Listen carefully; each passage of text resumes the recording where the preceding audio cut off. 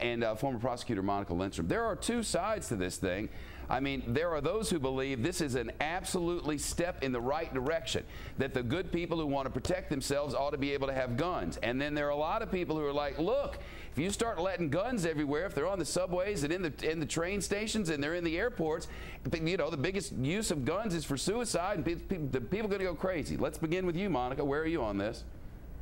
Well, first of all, Shep, I'm actually very, very disappointed that we even have to talk about this. Did these lawmakers forget about 9-11 and the fact that airports were at the center of that tragedy? The last thing we need is for anybody who has a concealed weapons permit to carry guns inside the airport. There's no reason for it. There's just no justification. It cannot be done and it should not be done. Well, you know, the all. other side makes the argument that there have been plenty of places where shootings were going down where guns were not mm -hmm. allowed in the hands of law, honest, law-abiding citizens, and they make the argument, Joanna, that yeah. had they been allowed in those honest, everyday citizens' hands, that those honest, everyday citizens might have stopped chaos. Well, exactly, and, and since uh, Monica just invoked 9-11, as a New Yorker, I would have wanted someone in an airport, somebody to have a gun because you want to know something? Nobody had anything. So to say that that uh, post 9 to have a post 9/11, well, actually, well, ridiculous. if you let me finish, you have that their law allows no, people to have. Well, you're not sense. letting me finish. Their law allows them at this time. let her finish now, Monica. Totally fair. Thank you very much. To be able to have on their transportation system on buses um, going to the airport. They're allowed to have guns. That's what their state law says. Nobody's asking for guns to go past the security uh, facility, so you're not going into the direct airport where people are. You, and they're also allowed in restaurants, and airports have restaurants. So they make it like a pseudo mall where people are, and they're allowed to have no. their guns there. You, well, yes, they do. Well, now, you're saying right, no, but now, that's their law. Say. Here's the thing. we're at a point now, we're in election season a gun issues yep. is going to be a divide and separate of folks. People are going to try to put yep. people on one side or the other. And because of the Absolutely. Supreme Court ruling that's just come, uh, note to self, Shepard, turn off your cell phone when you're on television. Uh, because of this Supreme Court ruling that came down, there are going to be challenges to gun laws because of what happened in Washington yep. all over this country. So the battle is on here. This is just that's the beginning, right. and it's starting apparently in Georgia.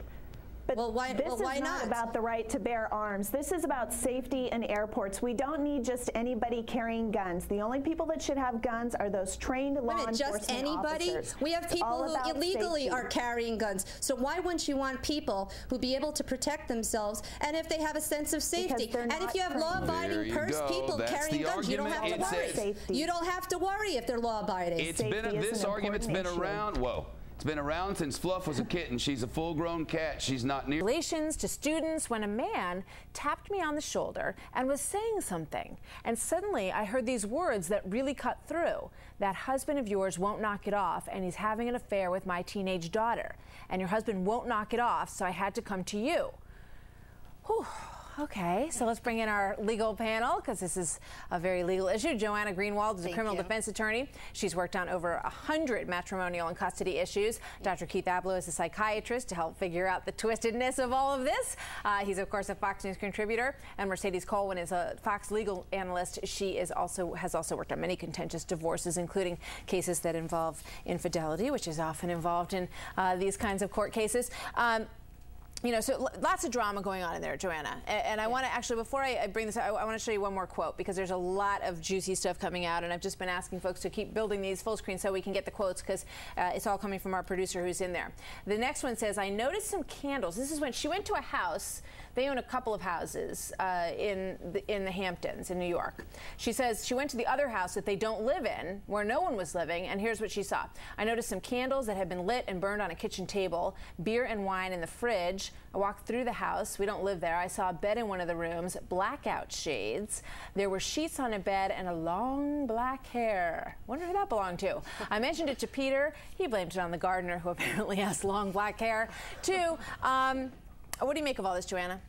I think it's a big mess, actually. I think that it's a travesty on, on any side because the status and the, and the level that you look at in a matrimony is the best interest of the child standard. And here we have children, and there are no winners in this. No. There are no winners, no matter how sordid this is going to come out. You have children involved. So this is just a horrific situation. No matter whose fault you want to put it on somebody, you have children, and I just think it's just. It's just awful. You, this is about custody, but you say from what's gone on so far, you don't believe that Peter Cook wants custody. No, I really don't. Why? I, because it, if with my experience, uh, children are, especially for a woman, it's their Achilles heel. Mm -hmm. If you're going to try to come after me, you're going to say something about my kid. You know, that's right. my that's my weak spot. And so I often see that that's a chip. They really don't want custody. It's really about money, or they want something else. So they're saying basically, oh, I want the children. They really don't. You'll see that magically come off the table when they get the things that they right. really want. And in here, they're fighting over assets, which I don't understand on top of everything else because they have a prenup. That's very clear, and, apparently. Well, something's wrong with the prenup. Something's wrong there because this these issues, as far as assets, never should be coming up. Right. So the fact that he's raising them, he's putting that out there, yet a chip about the children. Right, I want to get to Dr. Ablow. Dr. Ablow, a lot of people look at this case and they say, look, the man's married to Christie Brinkley. So why is he cheating on her when he's married to a man, a woman uh. who most men would, you know, give their right arm to be married to? What's that all about? Well, that's about the interior psychological world of this fellow. It's not about how pretty his wife is. And frankly, you know what? That passion that's uh, something that you know magnetizes people early on. It doesn't always last into the 10th year of marriage, as it hasn't in this case.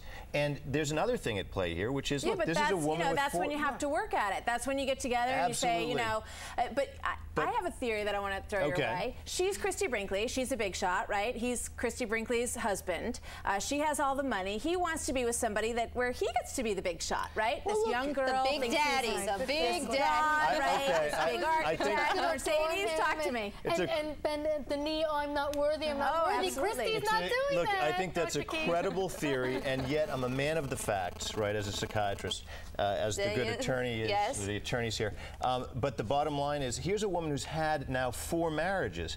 One would urge her to have some insight and say, what is it? What am I not able to do? In all fairness, one of her husbands died, so he marriage. doesn't count, okay? The one well, who died fifth, is not a divorce. There'll be a fifth marriage. It doesn't matter what the wife does, though. I mean, what does it saying? That if you're not a good wife, your husband's going to go out and cheat? No, you have to no, work no, at it, no, like Martha it's said. not a wife or issue. husband. I'm just saying that it would be uh, psychologically um, untenable to say that a woman who is going to emerge into her fifth marriage has the capacity the wherewithal to have a complete intimate maybe relationship. I don't, I don't buy that at all.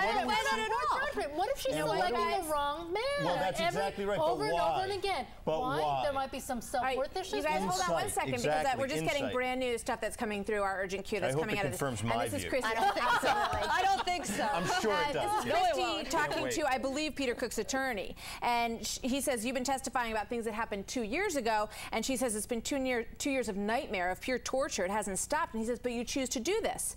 Courts are open because it's been proven in an open courtroom to get the truth. She said, I'm here to get a divorce that I've been trying to get for two years. Uh, he says, Why no speak of anger? She says, That's because the anger is your creation, sir. sir. You've chosen Nah. to make me into a caricature. Uh, and basically, you know, they talk about whether or not the children are being protected. She says, My children are safely away right now. I guess suggesting that she has made sure that her children are in a place where they're not going to hear or, or well, get wind of That any of this. judge, this. honestly, Martha, could turn this all around against Christie and say, do you know what? You have uh, wanted this public flogging Absolutely. of Peter Cook. I'm not sure that you are the right guardian of these children because you're not putting the best interest of your children I don't at agree first. with that. I think that's, but that's a huge issue, though. I, I mean, mean, you look, haven't- look at did- what she's well- doing. Why would It's a you public cast castration, Exactly. actually. I was just going to Well, say. if- Oh, sorry. If I Take a look may, you our have a judiciary ruling where the judge, who has to uphold the best interest of the child standard, and so he's he's the ultimate protector of these children, and he said that Yes. having an open courtroom.